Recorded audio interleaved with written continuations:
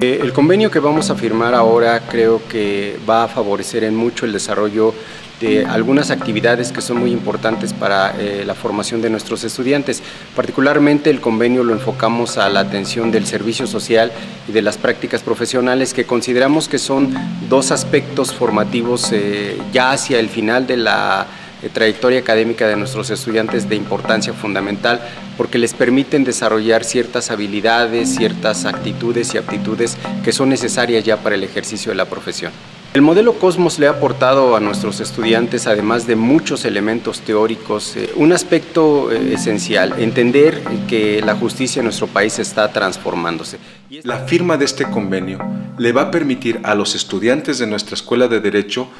acceder al ámbito laboral en un tema muy específico, que en este caso es la Defensoría Penal Pública.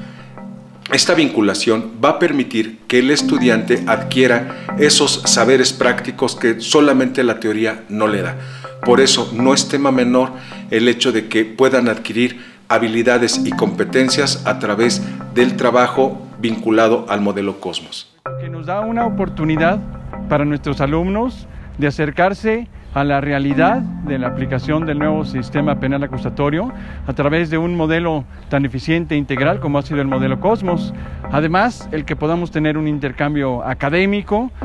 eh, con diversas actividades, con diversos temas, conferencias conjuntas y también la posibilidad muy valiosa de que nuestros alumnos puedan hacer el servicio social con el Instituto de la Defensoría Pública Penal del Estado de Querétaro, pues les da la posibilidad a nuestros alumnos de formarse para ser mejores abogados y para poderse precisamente incrustar en el nuevo escenario jurídico que el Estado demanda.